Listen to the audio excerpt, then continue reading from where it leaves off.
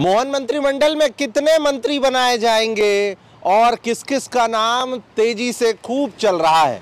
कर लेते हैं इस पर बात, अगर सुनना चाहते हैं तो यहाँ रुक सकते हैं नमस्ते, मेरा नाम विवान है और आप सभी, आपसे ही कह रहा हूँ, पंजाब केसरी देख रहे हैं। जब से मोहन यादव, जो मध्य प्रदेश के मुखिया हैं, वो दिल्ली का सफ़र तय करने लग गए, उसके बाद से ही लगातार कई प्रकार के कयास और कयासों के बीच सबसे बड़ी चर्चा कि लौटेंगे तो मंत्रिमंडल का विस्तार हो जाएगा।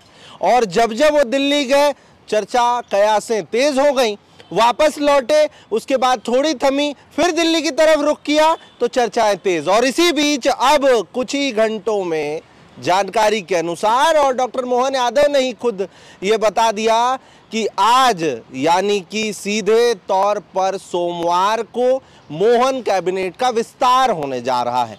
जानकारी ये आई है कि 28 मंत्री मोहन कैबिनेट में बनाए जा सकते हैं, जिसमें से 18 मंत्री होंगे। छह स्वतंत्र प्रभार मिलने वाला है छह को और चार राज्य मंत्री हो सकते हैं। अब ऐसे में वो नाम कौन से हैं जो बहुत तेज़ी से चल रहे हैं? तो अगर उन नामों की बात करें तो इंदर सिंह परमार, कैलाश विजयवर्गीय, कृष्णा गौर, विश्वास सारंग और कई ऐसे नाम हैं जो खूब सारे चर्चाओं में हैं, लेकिन फ़िलहाल अभी जो भी नाम है, वो भविष्य के गर्भ में है। देखना ये होगा कि गर्भ से जब बाहर निकल कर आएगा तो वो नाम क्या कुछ होंगे। जो भी होंगे, सबसे पहले आप सब तक पहुँचाने का पूरा प्रयास मेरा, पंजाब केसरी का, और मध्य प्रदेश के सभी संवाददाता लगातार ग्राउंड ज़ीरो पर बने होते हैं।